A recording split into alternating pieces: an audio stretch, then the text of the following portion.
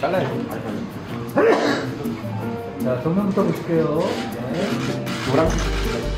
네.